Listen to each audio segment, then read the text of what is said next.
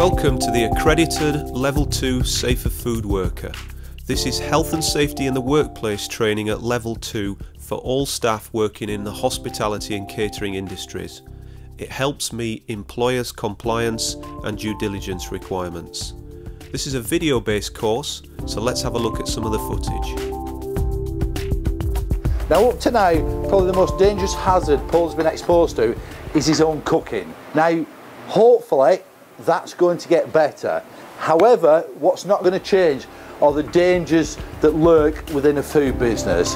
Just touch, just gonna put this, I've not actually hit you with it, I've not touched you with it, but that's what we could consider a near miss. Yeah. However, to work in, in our industry, any piece of equipment you bring in has to be PAT tested. Um, as you can see, even this is second hand, it's been PAT tested.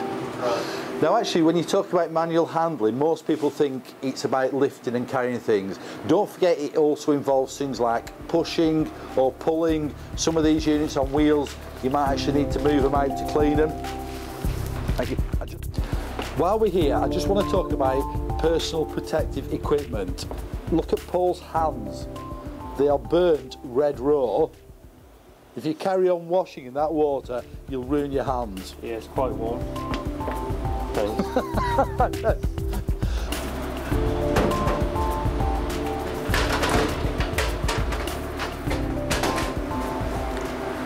That's the worst example I've ever seen. Let's go and show him how to do it properly. Paul, like wood or plastic, a broom or a brush, and what you need to do is literally break that connection. So you're making sure his airways are still open and clear. You bring his leg, around, Paul. You bring his leg over, so he's not going to fall backwards again with a chance of choking. So his airways are clear. The second element any fire needs is heat. The actual product, whether it's wood, paper, uh, oil, has to get to a certain temperature before it will actually ignite and catch fire. Did you spot the second deliberate mistake? Right at the start of the filming, I hadn't got a high-vis jacket on.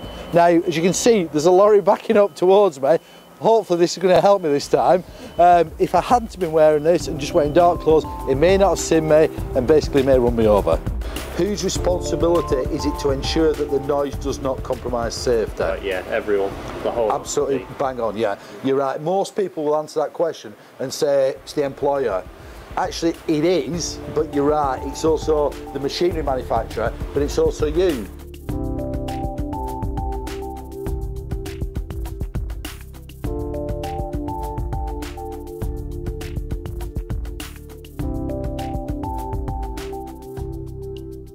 The Safer Food Worker is EHO audited both in syllabus and content, and it's developed specially for the hospitality and catering industries.